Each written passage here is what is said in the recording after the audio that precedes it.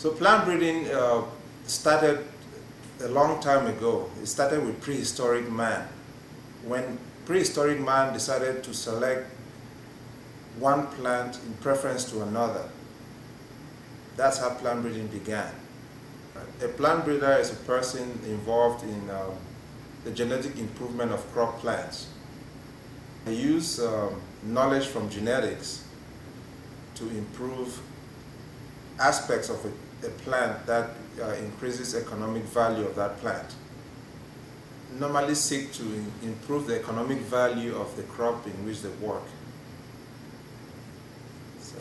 I mean, it's, it's important to know that, especially in the U.S., you know, agriculture is an important, I mean, we feed the world, we feed the nation, you know, we feed our local population. And so, you know, we, we, we farm intensively. And so we're, you know, we're always faced with high cost, new diseases, new insect pests. And that's where plant breeders come in.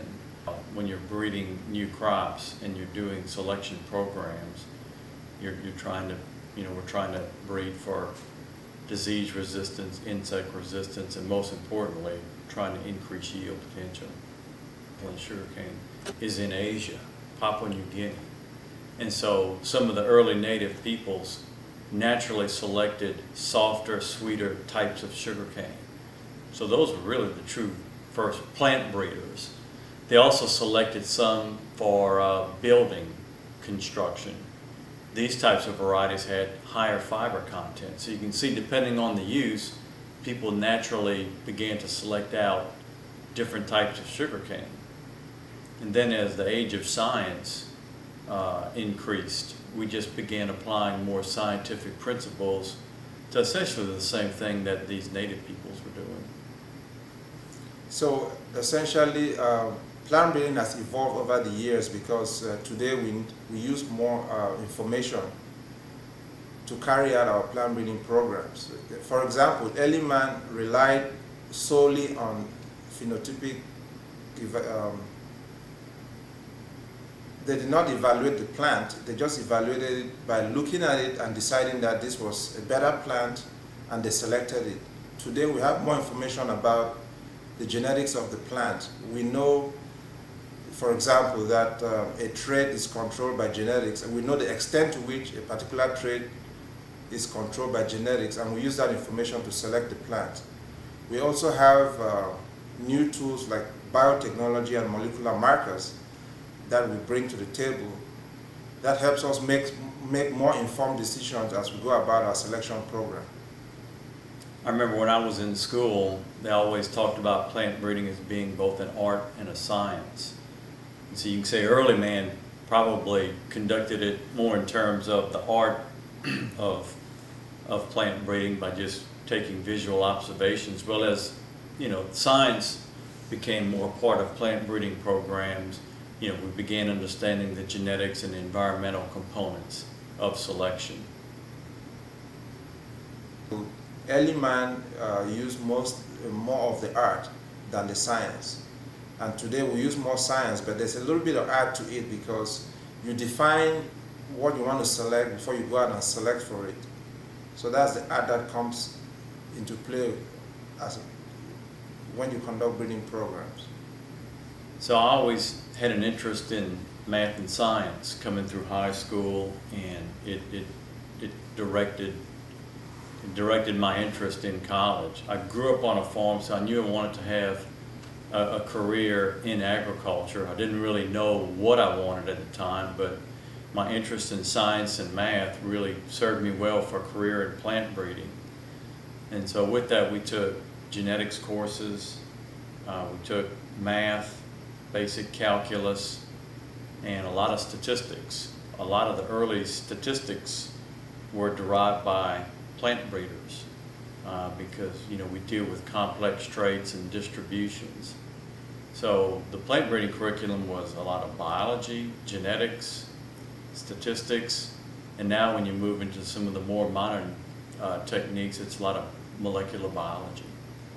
Uh, I grew up in Cameroon, and that's in West Africa. I grew up on an oil palm plantation, and I worked with plant breeders when I was uh, a teenager. My dad took me to meet the plant breeder, and uh, I spent some time with that person and he really motivated me uh, to see what he was trying to do.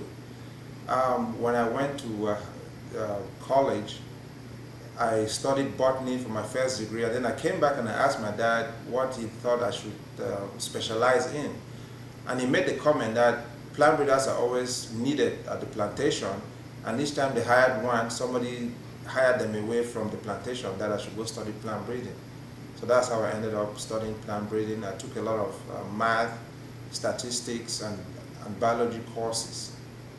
Um, by the time I got my uh, finished my up my PhD, there was a new emerging field called molecular biology, which uh, I had to take. So that's what prepared me uh, to be a plant breeder today. And having having grown up on the farm here in Louisiana, I can always remember when a new variety was introduced uh, onto the farm.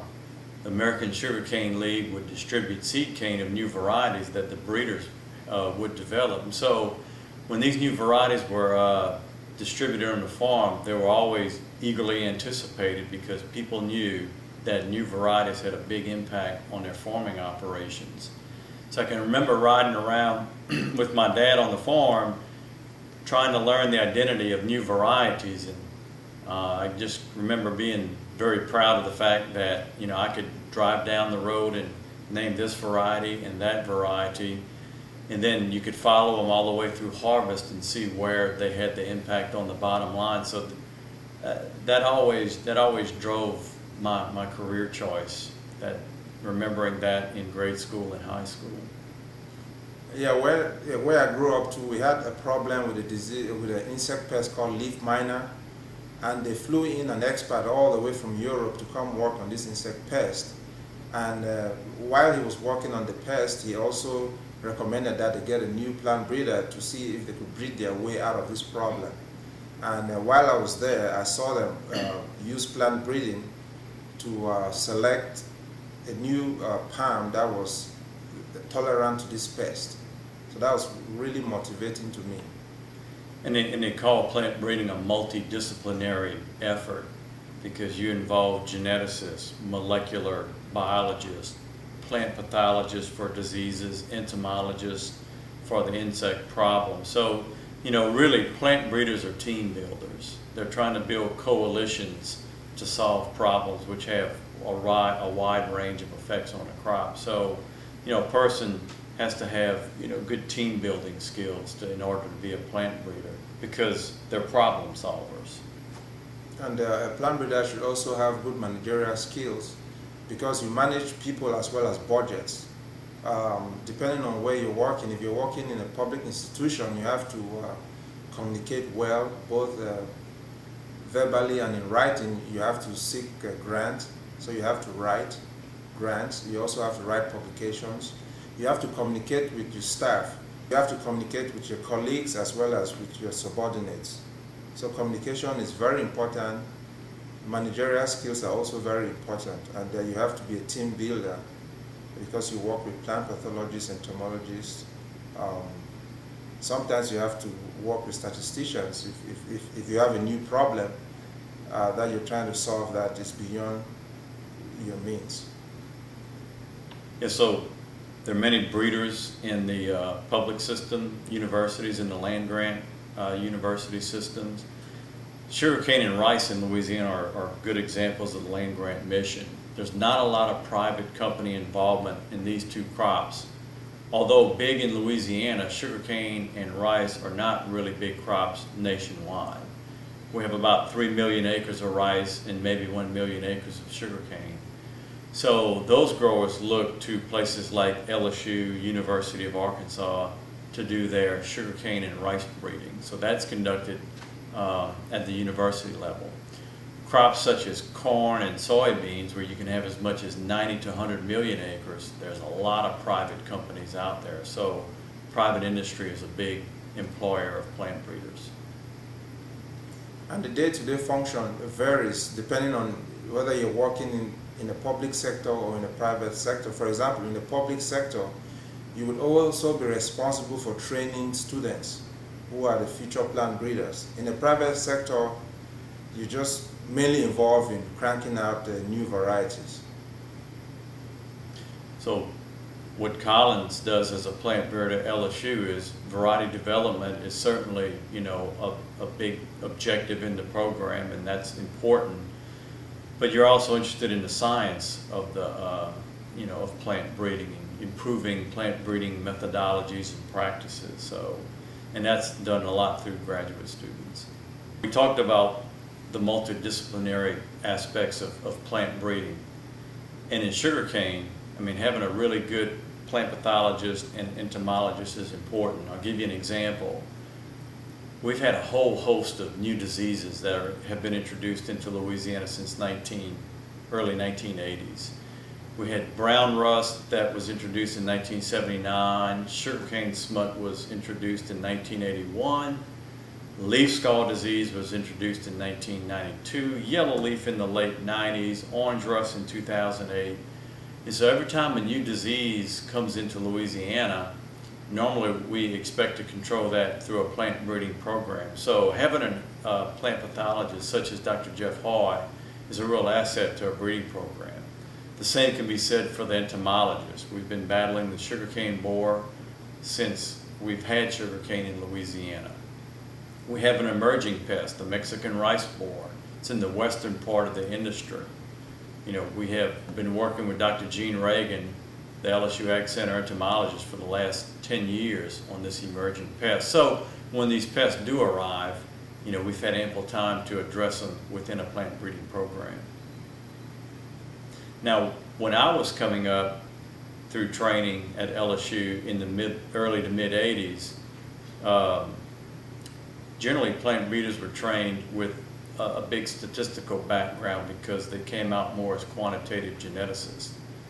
As molecular biology uh, improved over the years and that science developed, people like Collins have a stronger training in molecular biology. Yeah, uh, molecular biology is a new awesome tool that um, plant breeders now have in their toolbox that they can use to conduct their breeding programs. Uh, the molecular biology is um, a tool that can be used to uh, interrogate the plant and understand the genetics of the plant better than was possible a couple of years ago. With molecular biology, you can know if a plant has a particular gene or not, even without evaluating that plant out in the field such that you could screen out tens and thousands of plants in the greenhouse and select those plants that have the gene you're looking for and then plant them out in the field, saving a lot of years and resources that you could have spent evaluating these plants uh, out in the field for several years. And then there's another field within the, the arena called biotechnology. Biotechnology is a little different from molecular biology in the sense that with biotechnology, you can actually identify the gene from another species, clone that gene and insert it into your plant of interest, and then evaluate if that plant expresses that gene. And if that happens, you now have a new trait. For example, uh, they've been able to um, insert the gene for Roundup resistance into, say, corn. And then now they're able to spray corn with Roundup and kill all the other weeds except the corn plant. Another good example is cold tolerance in, in tomatoes. There's a cold tolerance gene that they've inserted to improve cold tolerance in the tomato plant. So there's a, a wide, a wider range of applications for transgenics. I, I, read this in a book about a year ago, and it was from uh, Dr. William Carter Stubbs. He was the first scientist at the LSU Ag Center hired in 1885. And although he was a soils person by training, about five years into his career, he says, you know, nothing changed yields on the farm like the, like the application of new varieties. And that really stuck with me. And so I guess that's why I was always excited about a career in plant breeding because the development of new varieties, there's no greater effect than that on the farm than a career in plant breeding, improving varieties, improving disease resistance, gaining insect resistance, bringing in new technologies such as transgenics, cold tolerance, herbicide resistance, insect resistance. So all of those things can be accomplished through the uh, field of plant breeding. So anyone considering a career in plant breeding has an exciting career ahead. Yeah, it's been it's been very exciting for me. I mean, there's no greater joy than releasing a variety and going out there and seeing farmers grow this variety. And you know, sometimes they pat you on the back, they invite you out for a beer. When I used to work in Australia, I'll go to a farmer's field and he want to show me what uh, a new variety, how well the new variety was performing, and and he invite me over for a meal and a beer, and we'll talk about the variety. I mean, that's the beauty of being a plant breeder.